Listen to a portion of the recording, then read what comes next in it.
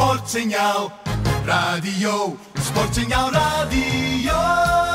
Jullie winnen vandaag met 7 tegen 2. Vorige week speelden jullie 0-0 gelijk. Hebben jullie deze week getraind op afwerken? Ja, ook. ook. Maar goed, eh, dat, dat wil nog niet zeggen dat het dan zo makkelijk gaat als dat het nu eh, ging. Want ik denk dat we eh, zeker die tweede, de tweede helft, die, die schoot alles wat je eigenlijk op de goal tussen palen kwam, dat zat er ook wel in. niet alleen omdat het slecht verdedigd was, maar omdat ze heel goed ingeschoten werden. Ja, lag, dat, uh, lag dat aan jullie? Of was ja, die keeper van DHC zwak? Nou ja, goed. Je zag wel in al, eigenlijk wel na die 3-0 met de rust dat ze mentaal al redelijk wat problemen hadden. En dat is ook logisch. Dat is niet zo raar. En dat je dan, dat is bij hun achterin dan ook wat, wat, wat, dan gaan ze verder naar voren spelen. Dus je krijgt nog meer ruimtes. Ja, dan, dan, ja, daar hebben we fantastisch mee omgegaan.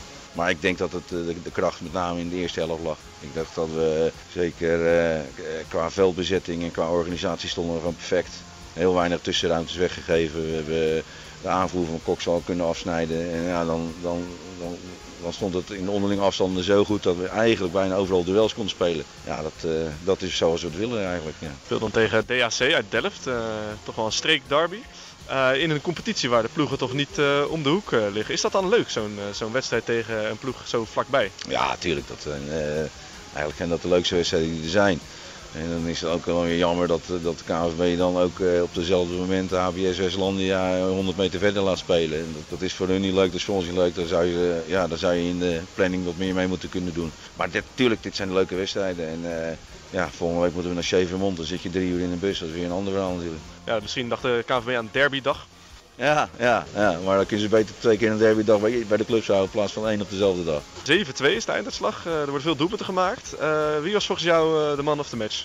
Nou ja, ik, nogmaals, ik denk dat, dat, dat bij ons de kracht lag in het collectief. Dat we gewoon met name die eerste helft zo eh, goed als team gespeeld hebben, dat, eh, dat daar het verschil in zat. Kijk, en dat, eh, dat Mark uh, de 3 induwt, Frank de 2 induwt, uh, Rashid die voor de eerste keer speelt die bal in. Ja, dat is alleen maar heel lekker. Maar ik denk dat het meer een, een, een collectieve prestatie geweest is. Regenachtige omstandigheden vandaag, had dat invloed op je voorbereiding? Hoe, hoe je de spelers instrueert? Nee, ik bedoel, dit is Nederland hè. En, we zijn het niet meer gewend de laatste twee maanden, maar dit, dit hoort er ook bij. En, en uiteindelijk heeft dat ook niet zoveel invloed gehad op de wedstrijd, denk ik. Tot slot, jullie pakken vandaag de overwinning op uh, concurrent DHC, dat ook 11 punten had. Daarmee houden jullie de aansluiting met de top. Wat zijn jullie doelen voor dit seizoen? Nu zo na dit begin van de competitie? Nou ja, goed. Ik denk dat we, dat we een ploeg hebben die wel met, met de bovenste mee kunnen gaan draaien. We, nogmaals, het is een competitie waar, waar alleen RKVV en DHC zijn bekend en de rest is allemaal onbekend. Dus, dus het wordt wel steeds zichtbaarder hoe de verhoudingen liggen.